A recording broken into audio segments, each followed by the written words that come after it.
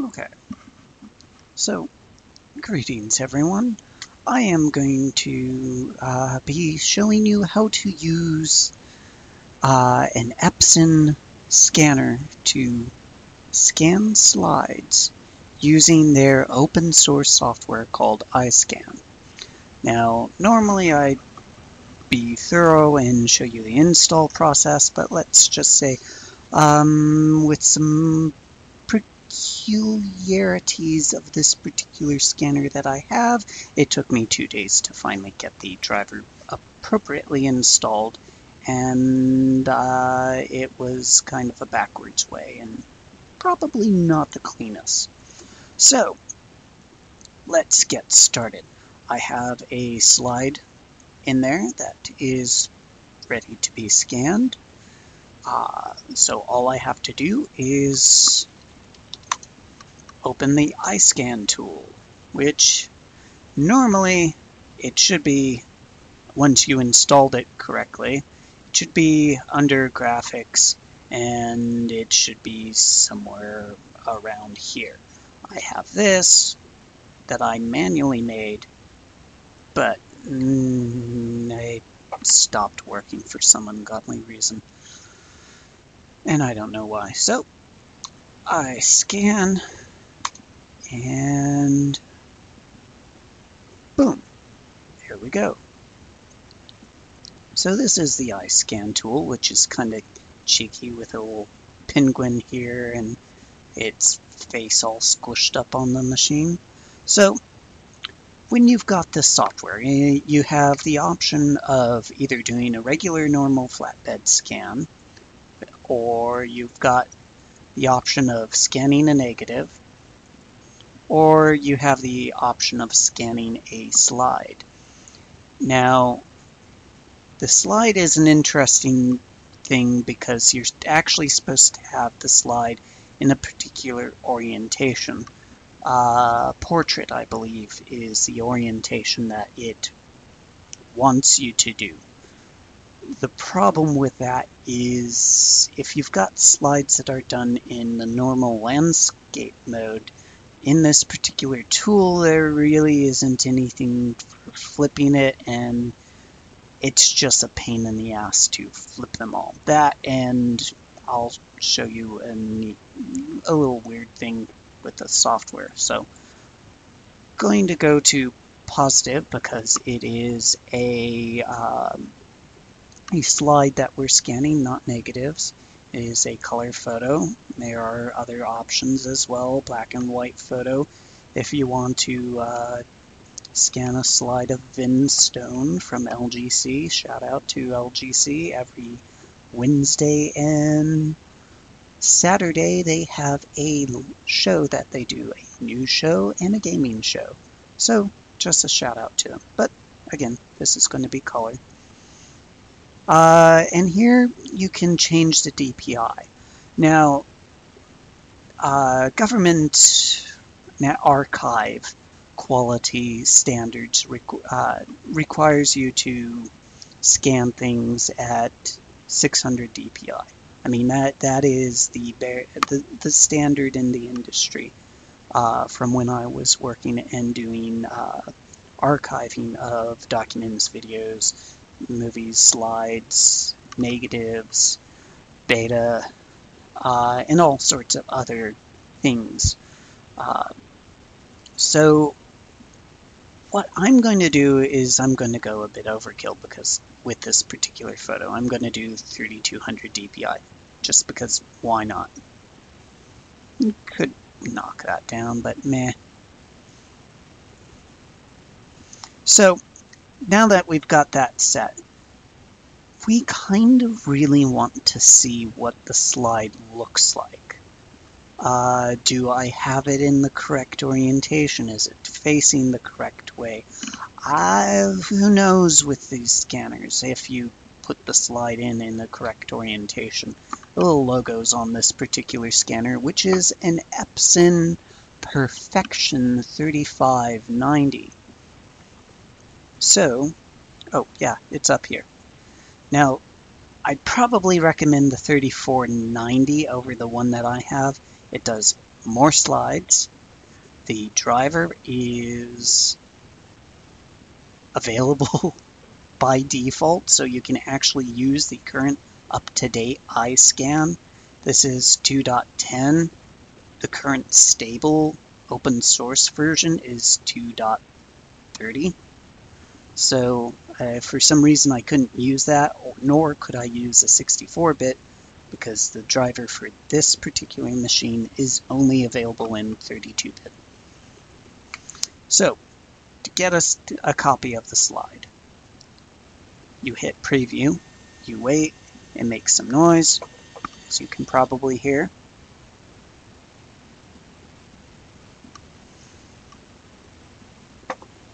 And while it's doing that, uh, I, I've been through at least three different slide scan, slide scanners for Linux. Uh, a one of them is some weird knockoff. I think there was an actually four. There was a Microtek as well that I used. Uh, the Microtek I used long ago, and it did work, and it did work with Xsane. But recently I tried a weird no-name brand that I don't know of off the top of my head, an HPG G what what is it uh, G4050 and it worked. You hope the drivers are open source. Ah, there we go. And this is why you do a preview because as you can see everything is backwards. So That means I need to go lift the lid, flip the slide over, and do this all over again.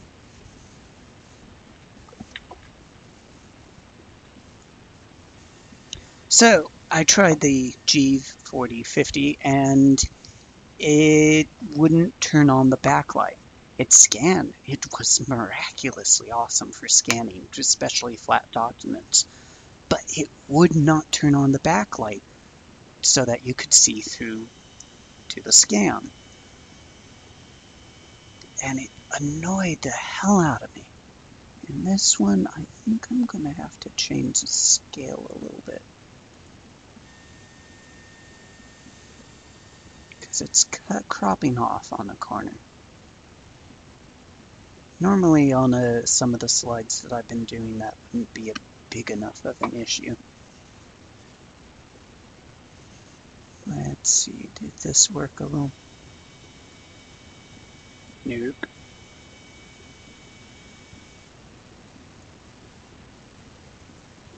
Let's try that again.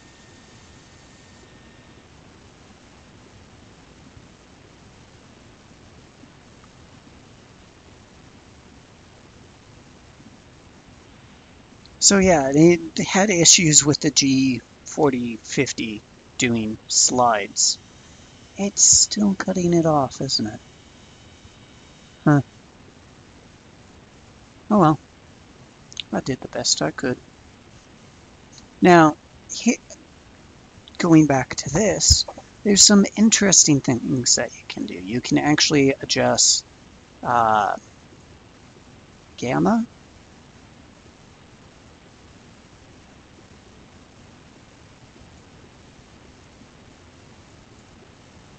the highlight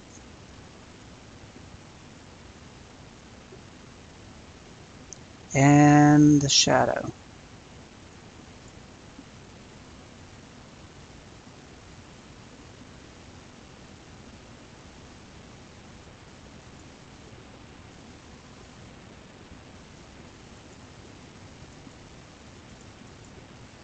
So I'm going to hit back auto exposure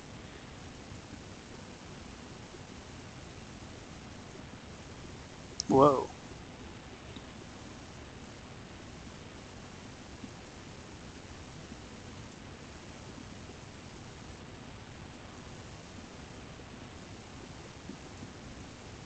So there's some interesting things that you can do. And, well, since I'm done fiddling with these controls, here, as you can see, you can change the RGB and the grayscale, shadow, highlight, gamma, all within this particular program. So I'm going to hit scan. Now, here's one of the most backwards things that I found with this particular program is usually, okay, yeah, eh, you want to save it as a PNM, fine. Want to save it as a, in this case, I can't save it as a PNG or a TIFF. So, JPEG, okay. Nope, not allowing me. So it, it, it forces that end extension on everything. And so you can see I've scanned a few things already, and there's this particular video right now. So, World Savings Bank up.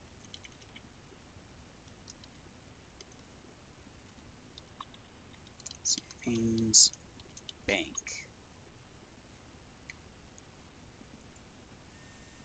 Okay, and now it's going to do one final scan before it saves it.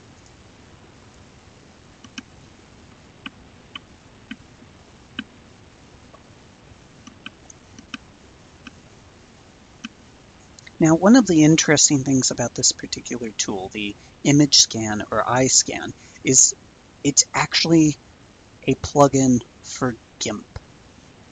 So, Yeah. Okay. I might as well just stop doing that and go to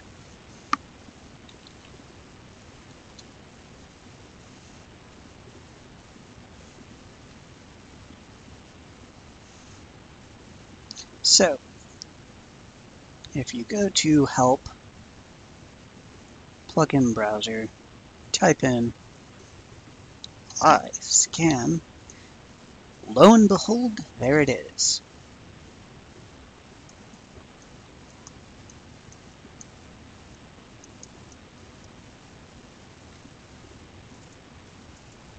So,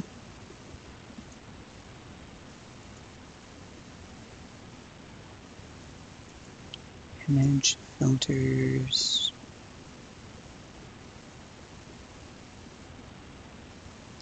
acquire image, Scanning iScan. There we go. So that one, that I'll show that in just a bit. But yeah, with the G4050, the backlight would not turn on no matter what I could try and do. So I may end up having to uh, do a bug report because the G4050 is not an old scanner. It's relatively newish. The Epson that I have is about three or four generations old at this point. But hey, it works and it's got open source software. God bless Epson and HP for providing open source software. Yeah, HPLIP is stupidly useful.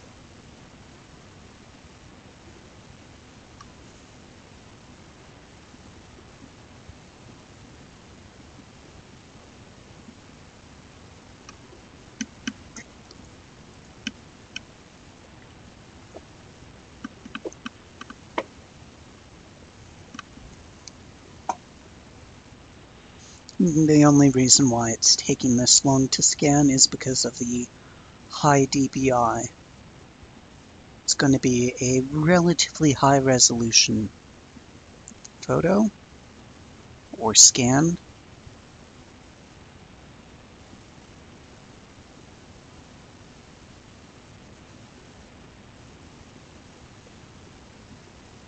Funny thing about this picture is this is actually a professionally done picture. It's not one taken by my parents. It's this is an actual professionally done stock image. and interestingly enough, this bank uh, was a very, very popular Cal Southern California bank and they ended up getting bought out by Wachovia, and then as the financial bubble, uh, the housing bubble burst, uh, in part by banks like World Savings and Home Savings of America and uh, Washington Mutual and the like. Uh, World Savings and got bought out by Wachovia, and Wachovia ended up getting bought out by Wells Fargo. Okay, so that's scanned. Close that. Let's see if we can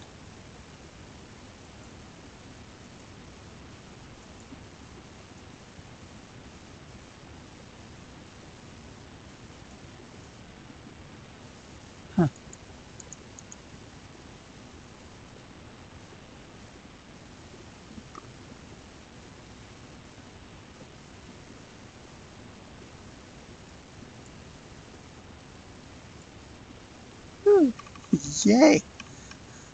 More reasons for me to report more bugs. Yay. Fucking awesome. Uh, okay, so how about I just open that picture? Open.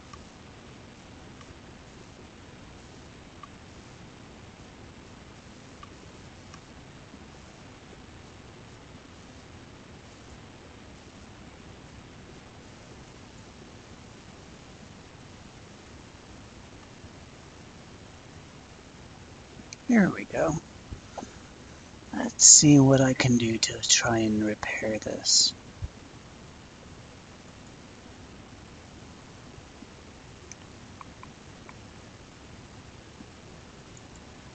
Auto white balance.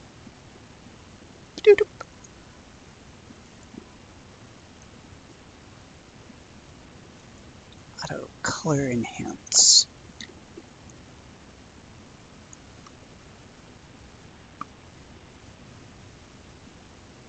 don't really see much of a difference there.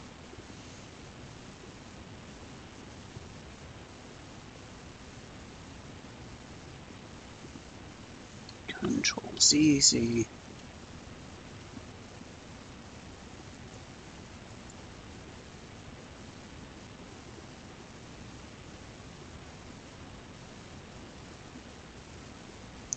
Let's try normalizing it.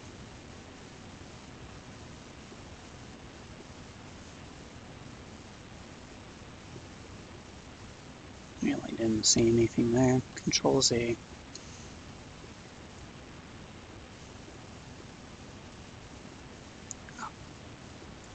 Stupid mouse, damn it.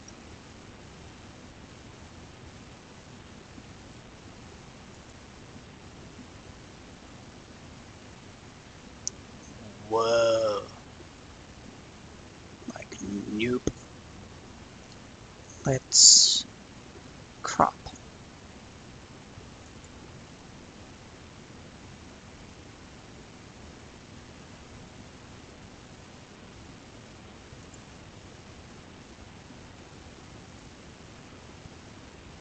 Whoop.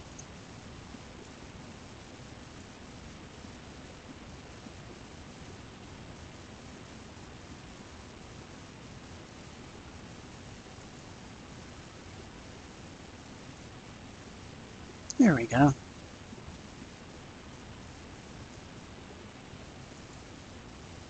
Now we should be able to go into auto and equalize. There we go. Now it looks like a normal building. Awesome. Look at the uh, the color on the brickwork, which is for Southern California building. It should be more of a sandy color, maybe a little bit red. The sky is a little bit more pronounced here. Speckling though is a bit. Let's see what else is. Is there anything that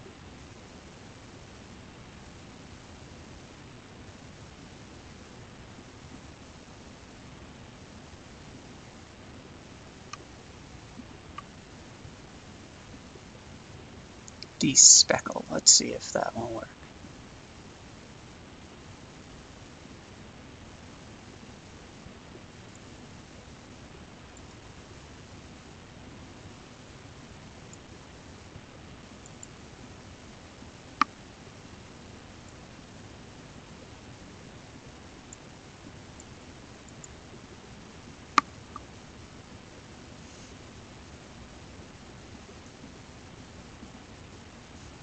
Let's see if that works. I didn't really do anything, so it probably won't, so.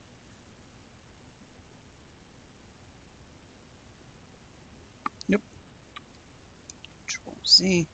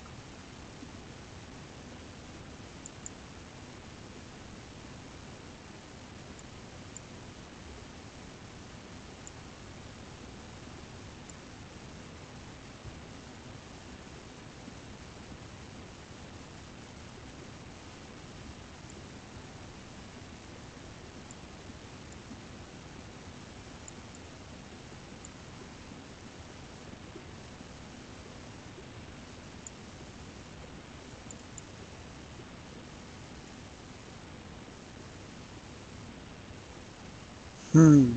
Well, that sure as heck isn't gonna work.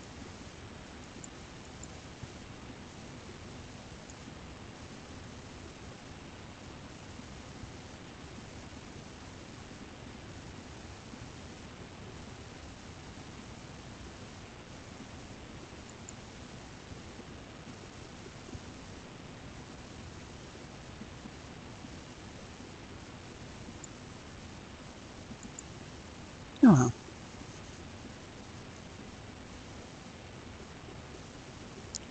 Oh, it looks a heck of a lot better than it did. So, I'm gonna save it. And in GIMP, you have to export.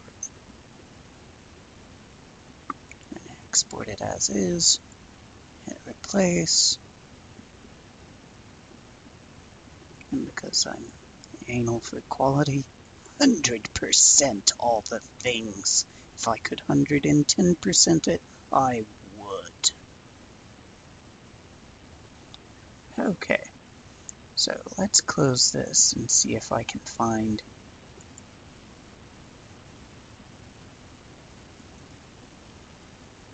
another slide to scan. Maybe something of interest.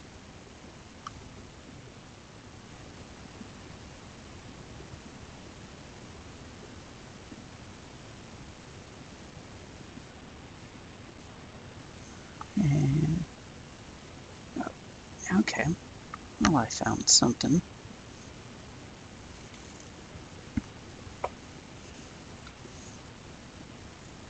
See.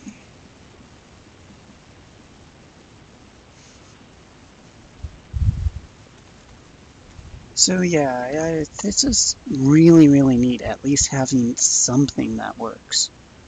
Especially with uh, people like my parents that have hundreds upon hundreds of slides.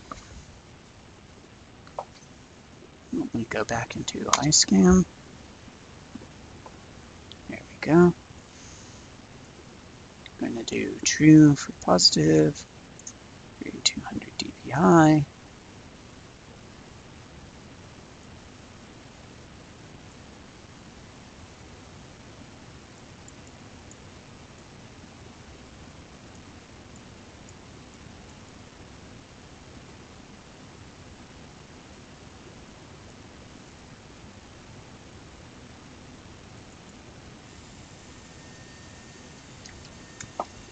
See if I can get the whole whole thing.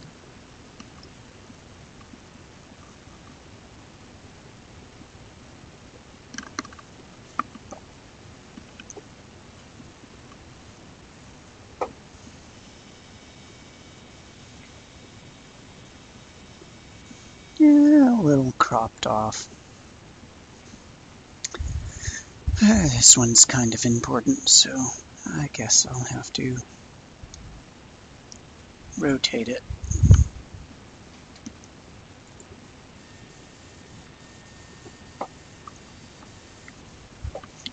this program does do a pretty decent job in dealing with auto exposure and whatnot. I've had some programs like, uh, or some scanners like the Microtek that was, was just stupid. Oh my god, it was stupid.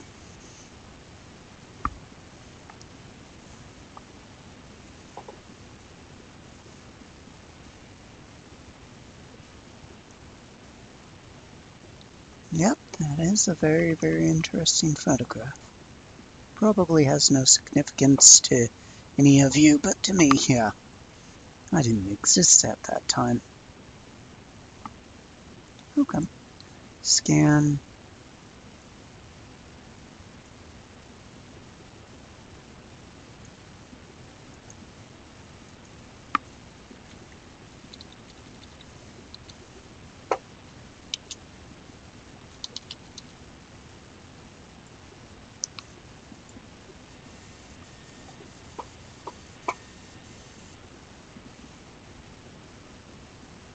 And I'm not going to use GIMP to rotate it.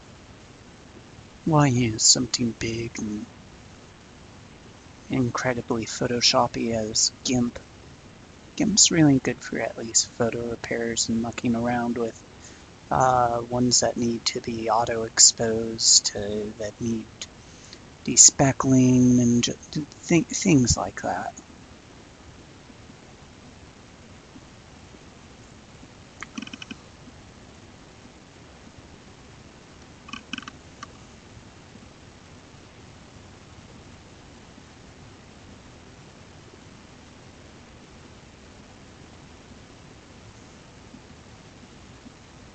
I was going to be doing some work for a client of mine, helping his family scan a bunch of slides. They ended up uh, just with the deluge of how many slides and negatives that they had, they ended up uh, giving up on that project. It was just way too much and a lot of the stuff that a lot of the slides that they had and the pictures that they had the people that would know the most about them are no longer uh, on the celestial plane so they had nothing more than archival meaning no family meaning no things like that. There might be maybe a few that might mean something but they're just to go through all of them just wasn't worth it for them. Costco charges, I think, $35 up front and then no, no, it was uh, it, a little less. It's almost like 20 bucks or so, and then 35 cents per slide after that. 35 or 32. Normally, I with something like this, I'd charge $20 an hour and a dollar fifty per slide.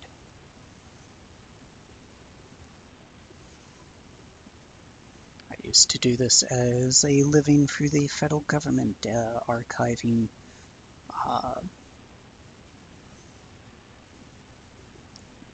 various media documents, either sending them out to get scanned by someone else or doing them in-house, putting them in a searchable database, creating metadata for stuff that didn't have metadata.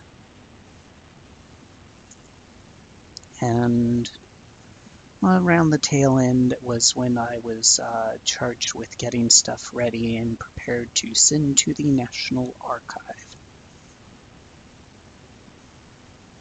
Things like uh, the 1976 Platform A oil spill. I think it was A.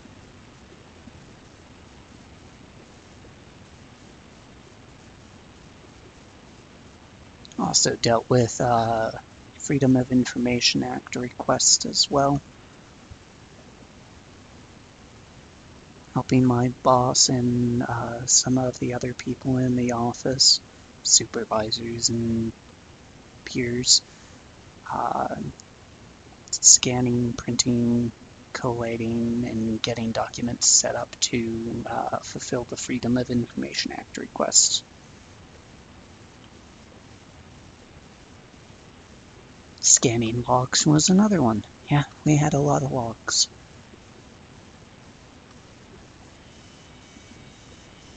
Okay, yay. That should be done.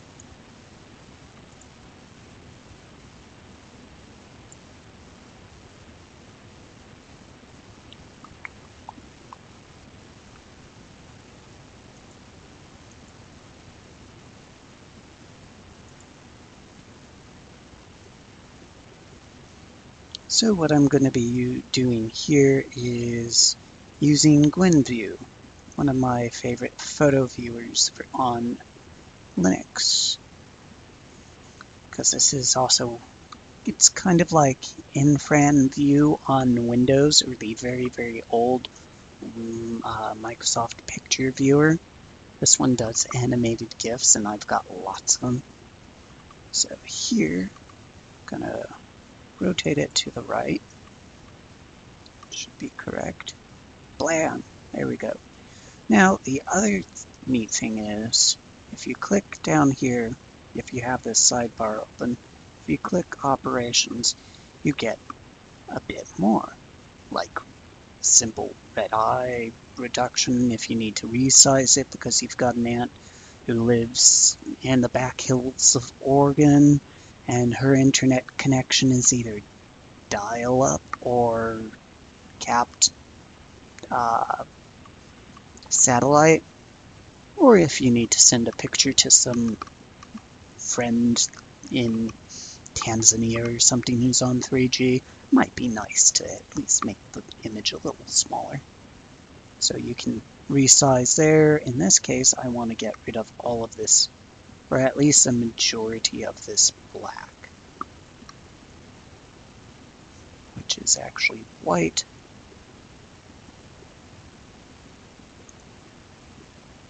Let's move over there. Bring this down. It's probably not flush. I don't like losing any part of what I'm scanning. So if I have some overflow, then yeah, fine, deal with it. If it's not a perfect image, you're going to have something. But having something is better than getting rid of something that's useful. So having the black here is more valuable than cropping some of the, just a little bit of the sky out.